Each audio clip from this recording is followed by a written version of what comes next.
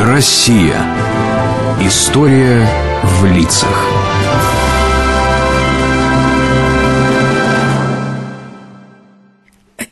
Пятнадцать, шестнадцать, сем, семнадцать, восемь... Все, не могу больше.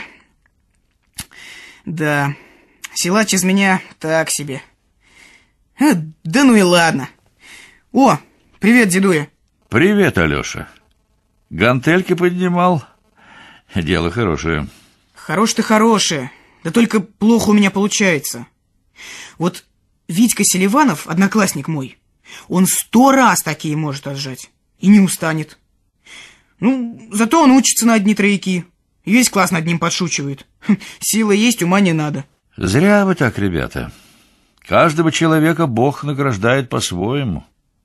Да, Витьке вашему не по зубам сложные задачи по физике. Зато в будущем он может быть великий спортсмен. Ну и что? Спорт это же несерьезно.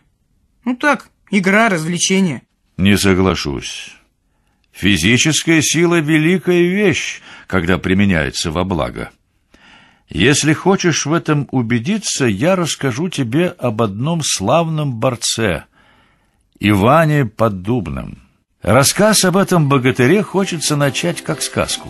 Жил да был в степной украинской глубинке в селе Красеновка работящий мужик-хлебороб Максим Поддубный. На все близлежащие села славился он неслыханной силой. Беда, беда! Расходись, бабы, расходись, мужики, по добру, по здорову! Ты чего обложишь, Семен? Соседей пугаешь? Ой, Максим Иванович, беда, беда! Бык мой совсем спятил! Привес разорвал я книтку, по селу бегает, глаза краснющие, в трех дворах заборы поломал. Прячься, Иваныч! Вот уж он по большаку бежит. О! Ха-ха-ха! Прячься сам, сусід, коли тобі надо. А я побачу на твою скотинку. Ха-ха-ха. Ну що, рогатий, отходи. Не боись. Сонька, отговори своего батьку, коли жизнь его тебе дорога. Я своего быка знаю, шутить с ним не треба. А я батю своего знаю. С ним тоже шутки плохи. О, глядите. За рога взял, да на дорогу повалил. Ай да батька! Зови мужиков, Семен. Ноги теленку твоему свяжете, я покеду его подержу. Куда, бесенок? Смирно! Лежи! Было у Максима Ивановича семеро детей. Все крепкие, дородные. Но самый могучий был старший сын, Иван. Шутки ради вызывал он на борьбу с десяток сверстников, да не по одному, а гурьбой. И ребята, что мешки с соломой, разлетались от его бросков по сторонам. Вскоре Иван простился с родными и отправился в южные приморские города искать работу. Работа, конечно, нашлась. И стал Иван по 14 часов в день разгружать трюмы, набитые пузатыми бочками, неподъемными мешками, работал и сам наслаждался своей сказочной силой. Но вот однажды, гуляя по Феодосии, он увидел яркую афишу. Господа хорошие, в ваш город прибыл лучший цирк от потопа до наших дней, от Европы до монгольских степей. Не прозевайте великое удовольствие! Сегодня в программе величайшие атлеты! Покупайте билеты! Борцы готовы сразиться с любым зрителем! И если тот выйдет победителем, убедитесь сами, он не уйдет с пустыми руками! Эй, хлопчик, чего разголосился? Передохни трошки. Правда ли, Баиш, что с борцами вашими помериться силой можно? Чистейшая правда. Наши ребятки, кого хочешь, положат на лопатки. Это мы побачим. Те времена, а это был конец XIX века, состязания борцов чаще всего проходили в цирке. И подобный явился в цирк совершенно уверенный, что сможет победить любого атлета. Но к своим друзьям-портовым грузчикам он вернулся побежденным. Что, Иван Великан, унылый плетешься? Не по душе пришлось представление. А, намяли они мне бока окаянные. Дюже добро всыпали. Вызвался я против одного. Походил вокруг, пощупал легонько, вроде и не шибко силен. А он вдруг хвать меня под руку, я, гляди ты, уж на ковре. Оно понятно. Сила в тебе, Ванька, великая, да ведь ее обуздать надо. Сила и у быка есть. А ты сам нашим ребятам рассказывал, что батька твой быка клал? А почему клал? Потому что умеючи, с подходом дело делал. Так и борьба. В ней особая мудрость нужна. Особая, понимаешь, стратегия. Поражение раззадорило Поддубного. Он стал часто наведываться в цирк. Наблюдал за борцами, усваивал их приемы. Богатырская сила в соединении со смекалкой дала потрясающий результат. Настал день, когда Иван Поддубный одного за другим бросил на ковер всех борцов цирка. Вскоре он получил приглашение в известный цирк в Севастополе, где продолжилась череда его великих побед. Но непростой оказалась цирковая жизнь. Иван Максимович, вы были великолепны. Позвольте пожать вам руку. А, а, а я и пустите же, медведь. Не так сильно. Ненароком я. Силу не рассчитал. Я имею к вам деликатный разговор. Да. Завтра вы подвальтесь под борца Матюшенко. Что значит? Подвалюсь. Я дам вам знак. И вы должен будете полететь на лопатки. Пускай положит.